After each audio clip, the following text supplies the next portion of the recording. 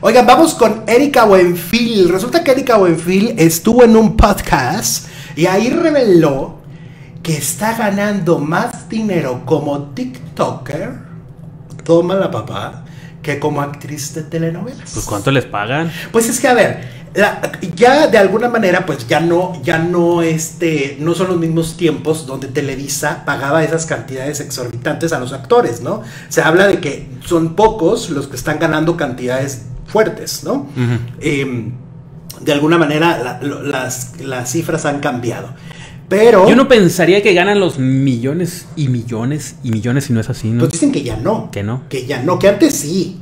O sea, que antes era una, una bueno, pero barbaridad. sí, era una barbaridad, pero a poquitos, no a todos. Ah, no. O sea, la mayoría ganaba poco, ¿no? Y yo creo que Erika ya no está en esa lista eh, Privilegiada. entre, entre comillas, que tiene Televisa para ellos, ¿no? Ahora, lo que pasa es que en TikTok es la número uno. La reina del TikTok. Es la reina, es la que más eh, seguidores tiene, creo, entre ella y Kimberly Loaiza, son las que más seguidores tienen en esa plataforma en México. O sea, le va increíble. Y si tú te fijas, ha empezado a hacer muchísimas colaboraciones y la están buscando, o sea, se ha convertido en la estrella de las redes sociales. Y ella dice que ahora, por ejemplo, cuando graba una telenovela, pues ya también les dice, bueno, sí, pero por ejemplo, de tal a tal hora no estoy porque grabo TikTok. Ok. ¿Cómo O sea, ya se pone sus Ya pone sus reglas. tiempos. Y sabes que le aplaudo, y, y de veras, ¿eh? Voy a aplaudirle literalmente a la señora Erika Buenfil, porque es la de las pocas figuras de la televisión que le da un respeto a redes sociales, te voy a decir, porque ella lo dijo claramente. Muchos pensaron que cuando iba a hacer una otra telenovela, ahí iba a abandonar las redes. Y nanay. Y dijo, no. La que sí abandonó fue la de cocina, ¿no? No, tampoco. ¿Tampoco sigue haciendo No, sigue haciendo videos. pastelitos y todo? Entonces, eso está padre. Eso está padre, Jesús, porque entonces quiere decir que sí hay un respeto a su público de redes Ajá. que no tienen algunos otros. Que se lo tomó en serio, ¿no? O sea, algunos lo que hacen como Mauricio Mancera. Voy a sacar un canal de YouTube porque estoy desempleado. Sí. Me llaman a hoy y, Y, ya, ya, adiós me, al canal. me olvido el canal. Atala, ¿no? También. Atala Sarmiento y otros tantos.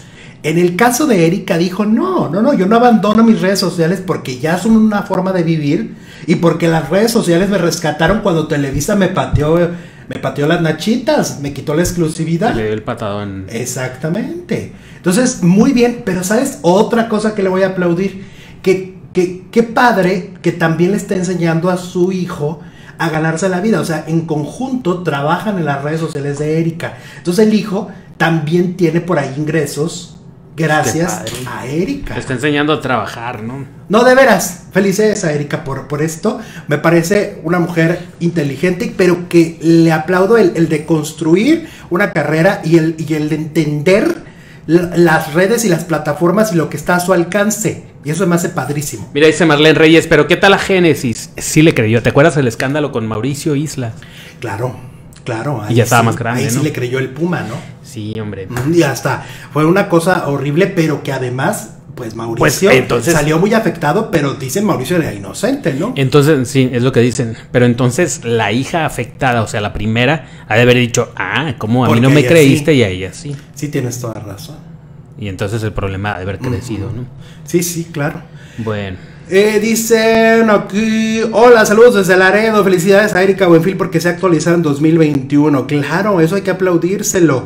Eh, solo quiere llamar la atención Pepillo, ya no sabe cómo llamar la atención ese Pepillo loquillo, dice MH. Obvio que en Estados Unidos porque ahí fue a robar la vacuna y presumir aquí en México, dice Ana.